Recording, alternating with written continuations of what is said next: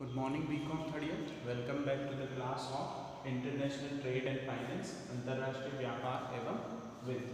Okay the topic is balance of payment पिछली class में अपन ने पढ़ा था कि disadvantages and advantages of international trade क्या फ़ायदे होते हैं क्या नुकसान होते हैं अंतरराष्ट्रीय व्यापार के ठीक है आज हम पढ़ेंगे बैलेंस ऑफ़ पेमेंट भुगतान दे ठीक है आपने दो टर्म पढ़े होंगे balance of trade and balance of payment okay दोनों टर्म जो होते हैं, अपन कंफ्यूज हो जाते हैं, लेकिन दोनों टर्म जो क्या है?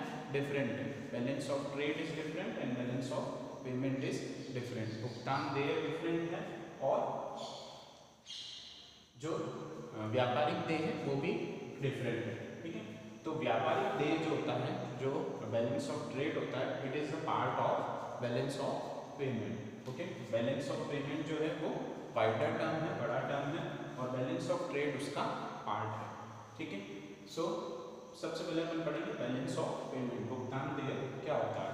ये स्टेटमेंट होता है जो रिकॉर्ड करता है economic and monetary transactions taking place between a country and the rest of the world okay ये एक स्टेटमेंट होता है, एक बयान होता है जिसके अंतर्गत ये रिकॉर्ड किया जाता है। कि कौन कौन से ट्रांजेक्शन्स एक देश के, विदेश के पूरे विश्व के, दूसरों के देशों के साथ कौन कौन से इकोनॉमिक एंड मॉनिटरी ट्रांजेक्शन्स हो रहे हैं, उनकी रिकॉर्ड किया जाता है स्टेटमेंट में within a particular time period एक पर्टिकुलर टाइम पीरियड के अंदर कितने इकोनॉमिक ट्रांजेक्शन हो रहे हैं, उसको रिकॉर्ड किया जाता है। ठीक है? इसी में अकाउंट्स स्टेटमेंट की तरह इसमें भी दो साइड्स होती है receipt sides and payment sides ठीक है?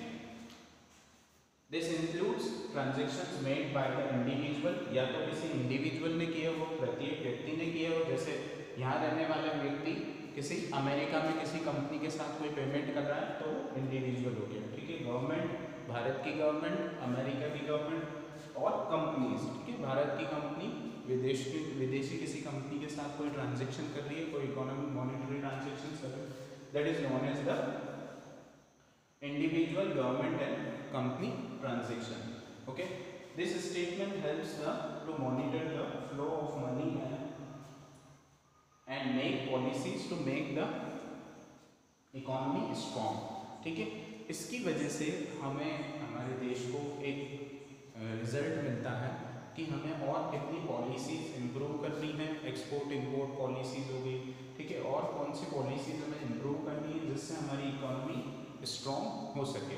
ठीक है? बैलेंस ऑफ़ ट्रेड क्या होता है? It is a difference between the export and import of the country ठीक है? जब एक्सपोर्ट ज़्यादा होते हैं, ठीक है, और इम्पोर्ट कम होते हैं तो बैलेंस ऑफ़ ट्रेड पॉजिटिव होता है। That is known as favourable balance of trade export और इम्पोर्ट इक्वल होते हैं तो उसको अपन बोलते हैं equilibrium in balance of trade मतलब इम्पोर्ट और एक्सपोर्ट बराबर। है ठीक है? अब एक्सपोर्ट कम होते हैं और इंपोर्ट ज़्यादा होते हैं। मतलब निर्यात कम होता है और आयात ज़्यादा होता है तो फिगर क्या आएगा? नेगेटिव में आएगा। ठीक है? That is known as unfavourable और नेगेटिव बैलेंस ऑफ़ ट्रेड ठीक है? नकारात्मक व्यापारिक दे ठीक है? तो उससे क्या होता है? बैलेंस ऑफ़ पेमेंट में डेफिसिट शो होता है या तो या फिर सरप्लस शो होता है। अगर आपके पेमेंट्स आपके पेमेंट्स आपकी जो रिसिप्ट हैं, ठीक है, उससे ज़्यादा हैं, ठीक है तो क्या शो होगा?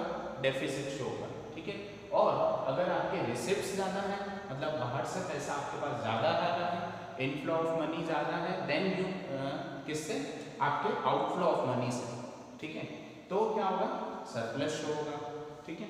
तो बैलेंस ऑफ़ ट्रेड जो बैलेंस ऑफ़ पेमेंट जो होता है, वो आइडियल सिचुएशन में हमेशा ज़ीरो मान के हम उसको चलते हैं। लेकिन ऐसा नहीं होता है, वहाँ पे डेफिसिट और सरप्लस होता रहता है। ओके ना व्हाट इज़ द इम्पोर्टेंस महत्व क्या है? बैलेंस ऑफ़ पेमेंट पढ़ने का। It is a clear picture of economic relation between the countries ठीक है? दो कंट्रीज़ के बीच में इकोनॉमिक रिलेशंस को ये शो करता है clear picture of economic relations between the countries second one is demand and supply of countries currency whether the currency is depreciating or appreciating. अब एक देश व्यापार कर रहा है, दूसरे देश से तो एक स्टैंडर्ड करेंसी होती है ठीक है? उसी में पैसों का भुगतान होता है, जैसे डॉलर ठीक है? अंतर्राष्ट्रीय मार्केट में डॉलर एक स्टैंडर्ड करेंसी है। ठीक है? तो हमें ये आइडेंटिफाई कर पाते हैं हम कि हमारी रुपये की जो करेंसी है, उसकी वैल्यू डेप्रिशिएट कर रही है या अप्रिशिएट कर रही है in terms of the international market okay third one is condition and position in the economic growth economic growth की कंडीशन कैसी है? क्योंकि आप, अब आफ्टर ग्लोबलाइजेशन बहुत कुछ निर्भर करता है कि हम कितना एक्सपोर्ट करते हैं, कितना इंपोर्ट करते हैं. Okay so large part of economy is on economic growth is dependent on our international trade ठीक है और last one is trends that are harmful और beneficial for the for the economy of the country उससे ये पता पड़ता है कि ट्रेंड्स मिलते हैं, ठीक है?